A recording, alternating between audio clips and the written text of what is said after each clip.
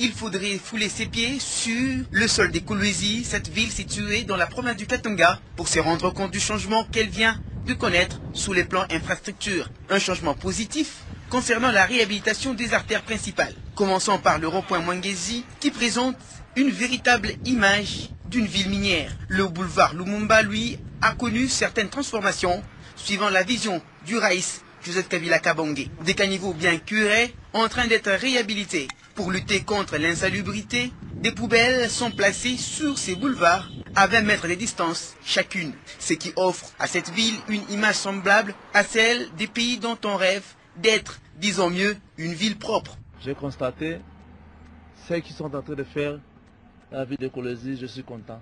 Les efforts sont quand même fournis, c'est visible, mais le gros est encore à faire. Plus de 40 km des routes internes principales subissent une transformation et une modernisation par l'entreprise Swanepol mise à l'œuvre.